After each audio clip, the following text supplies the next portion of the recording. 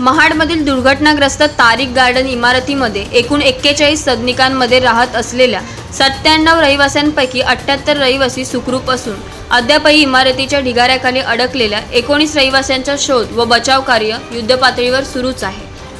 स्थानिक चौकशीनुसार इमारतीमध्ये एकूण एक्केचाळीस सदनिका एक कार्यालय एक जिम एक मोकळा हॉल होता. एविंगमध्ये एकूण एकवीस सदनिका होत्या. यामध्ये चोपन्न रहिवासी होते.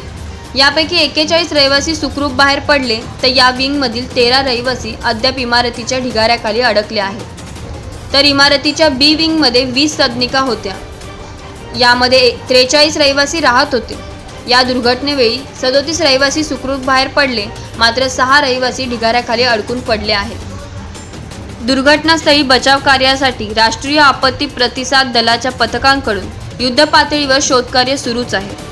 आतापर्यंत ढिगाऱ्याखालून आठ रहिवाशांना बाहेर काढण्यात यश आले असून त्यापैकी एका व्यक्तीचा मृत्यू झाला आहे. तर सात व्यक्तींना उपचारासाठी ग्रामीण रुग्णालय महाड येथे दाखल करण्यात आले आहे. त्यापैकी पाच व्यक्तींना उपचार करून घरी सोडण्यात आले आहे.